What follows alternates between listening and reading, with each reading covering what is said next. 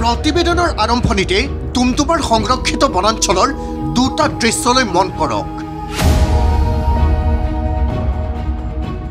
দৃশ্য এক বনাঞ্চলৰ মাটি বেদখল। ডুমডুমা বন সংমণ্ডলৰ অন্তৰ্গত বনাঞ্চলৰ প্ৰায় এহেজাৰ পঞ্চল্লিছ বিঘা মাটি বেদখলৰ কবলত। দৃশ্য দুই বনাঞ্চল ধ্বংস। দুষ্ট চকুৰে কাটি তহিলং কৰিছে গছ গছনিবোৰ হাবিবোৰ পৰিণত হৈছে মুকলি পথাৰলৈ।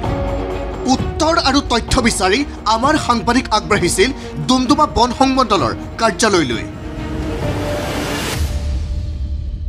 অনুসন্ধানত উন্মোচন বন বিভাগৰ ফোপোলা স্বৰূপ। ডুমডুমা বন সংমণ্ডলৰ অন্তৰ্গত বনাঞ্চলিক বিষয়াৰ কাৰ্যালয়সমূহত অভাৱ বন কৰ্মীৰ। পদ ডেপুটি ৰেঞ্জাৰ পদৰ সংখ্যা চাৰি। কৰ্তব্যৰত এক। পদ ফৰেষ্টাৰ প্ৰথম। পদৰ সংখ্যা সাতাইছ। কৰ্তব্যৰত তেৰ। ইয়াৰে বাৰজন কৰ্মচাৰীৰ বয়স পঞ্চাছৰ ঊৰ্ধৰ পদ বনৰক্ষী। পদৰ সংখ্যা একাৱন্ন। কৰ্তব্যৰত বাৰ। পদ ফৰেষ্টাৰ দ্বিতীয়। পদৰ সংখ্যা চাৰি। কৰ্তব্যৰত এক। ঠিক একেধৰণে পদ ফৰেষ্ট ৰেঞ্জাৰ কৰ্তব্যৰত সাতজন। মাত্ৰ চৌত্ৰিছ শতাংশ কৰ্মচাৰীয়ে ডুমডুমা বন সংমণ্ডলৰ অন্তৰ্গত একৈছ হাজাৰ ছশ তেৰ বিঘা অৰণ্যক সুৰক্ষা দিবলগীয়া হৈছে। ইয়াৰে তিনিটাকৈ গুৰুত্বপূৰ্ণ বনাঞ্চলিক বিষয়াৰ কাৰ্যালয় ন্যূনতম বন কৰ্মীৰে পৰিচালিত। কাকপথাৰ বনাঞ্চলিক বিষয়াৰ কাৰ্যালয়ত মাত্ৰ পাঁচজন বন কৰ্মী নিয়োজিত। ছয়শত আঠজন পেঙেৰীত তিনিজন। আনহাতে কেইবাটাও কাৰ্যালয়ত নাই চৰকাৰী বাহন। উল্লেখ্য যে ইয়াৰে নব্বৈ শতাংশ কৰ্মচাৰীৰ বয়স পঞ্চাছৰ ঊৰ্ধৰ আগন্তুক চাৰি বছৰৰ ভিতৰত কৰ্তব্যৰত মুঠ চৌত্ৰিছজন কৰ্মচাৰীৰ ভিতৰত ওঠৰজনেই হ'ব অৱসৰ।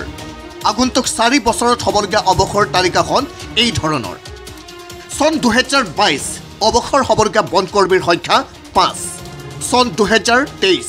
অৱসৰ হ'বলগীয়া বন কৰ্মীৰ সংখ্যা চাৰিজন। চন দুহেজাৰ চৌব্বিছ পাঁচজন। দুহেজাৰ পঁচিছত অৱসৰ গ্ৰহণ কৰিব চাৰিজন বন কৰ্মীয়ে।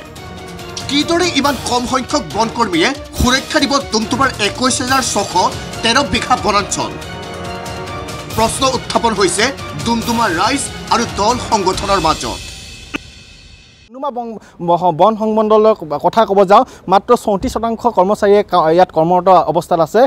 বাকী তাৰ তাৰ আটাইতকৈ ডাঙৰ কথাটো হৈছে নব্বৈ শতাংশ কৰ্মচাৰী কিন্তু পঞ্চাছ বছৰ ঊৰ্ধৰ অৰ্থাৎ দুহেজাৰ পঁচিছ ছাব্বিছ বৰ্ষত এইসকল কৰ্মচাৰী ৰিটায়াৰমেণ্ট ল'ব।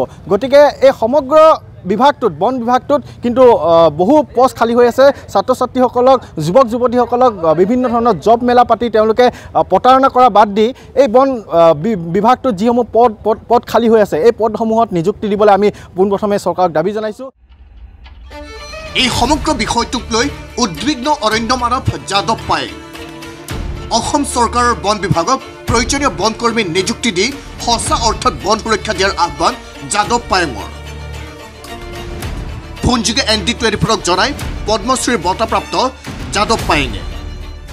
ফৰেষ্ট যদি মানুহ কম আছে বয়সস্থ মানুহতকৈ নতুন চামৰ যিখিনি ল'ৰা ছোৱালীক এপইণ্টমেণ্ট দিছে তাত আপোনালোকৰ সংবাদ মাধ্যমৰ যোগেদি তালৈ ট্ৰেন্সফাৰ কৰি সেইটো সংৰক্ষণ কৰাৰ ব্যৱস্থা কৰক। যদি ডি এফৰ যদি মানুহ নাই সেইকাৰণে মই অনুৰোধ কৰিছোঁ যে ফৰেষ্ট ডিপাৰ্টমেণ্টত দিল্লীত যিখিনি বন মন্ত্ৰীও আছে অ, কি বোলে গুৱাহাটীত তেওঁকো মানে অনুৰোধ কৰিছোঁ যে সোনকালে ডিগবৈ ডুমডুমা অঞ্চল সকলোখিনি আপাৰ আছামত যিখিনি আছে সেইখিনি সংৰক্ষণৰ দায়িত্ব অলপ মানুহ বেছিকৈ এপইণ্ট ফৰেষ্ট ডিপাৰ্টমেণ্টৰ মানুহ দি সুৰক্ষা দিব বুলি মই আশাৰে বাট চালোঁ বন সুৰক্ষাৰ শ্লোগান দিয়া চৰকাৰখনে বনকৰ্মী নিযুক্তিৰ ক্ষেত্ৰত কিদৰে গুৰুত্ব দিয়ে সেয়া সময়তহে লক্ষণীয় হ'ব।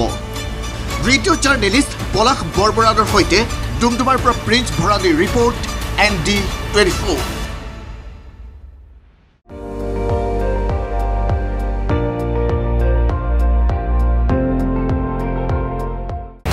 আপুনি চাই আছে এন ডি টুৱেণ্টি ফ'ৰ। সৰ্বশ্ৰেষ্ঠ নহয় সৰ্বোত্তমৰ দৌৰা